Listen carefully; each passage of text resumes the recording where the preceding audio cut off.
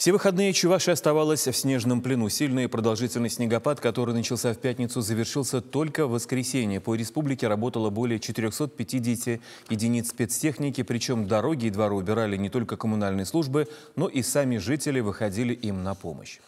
В Чувашии был введен режим повышенной готовности, чтобы ликвидировать возможные последствия разгула стихии.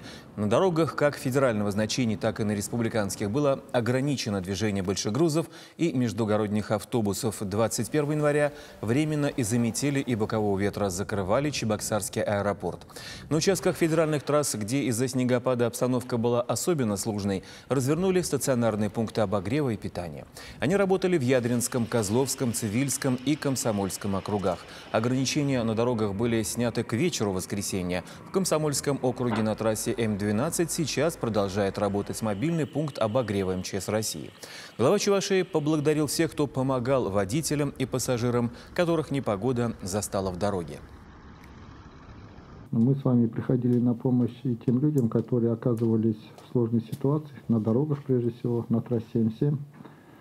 По мере возможности старались помогать и на трассе М12, где чуть сложнее организовать такую работу. И, как следствие, слова благодарности водителей, которые за многие десятилетия много раз сталкивались с такими ситуациями, ну и соответствующим образом отмечают достаточно слаженную работу.